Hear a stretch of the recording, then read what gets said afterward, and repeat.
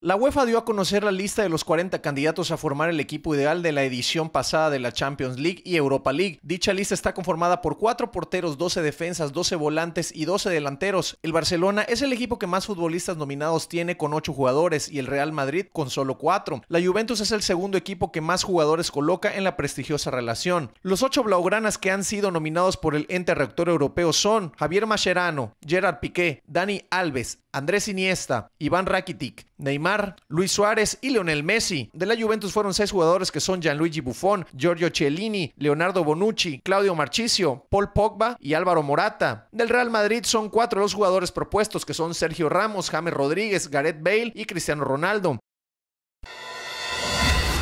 Telemar, reflejando tus emociones.